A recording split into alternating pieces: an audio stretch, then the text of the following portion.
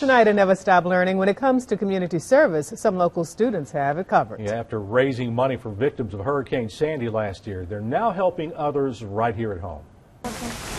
Okay, guys, now let's fold.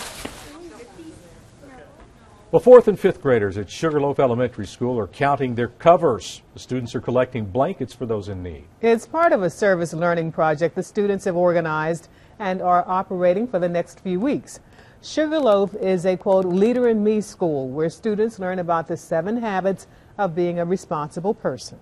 Uh, and like one is being proactive and putting first things first. And we're kind of putting first things first because we're putting their needs in front of ours. I think that this was important to participate in so we can help other people that can't afford buying blankets and people that can't buy blankets at the store because they don't have money or people that live places places that are not houses.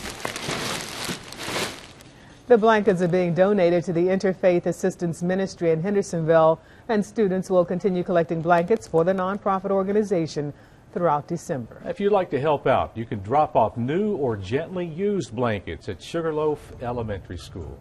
You know, it's no wonder this is such a giving community. They start them young, Yes, those are sweet little kids with a wonderful thought and a wonderful idea. Absolutely.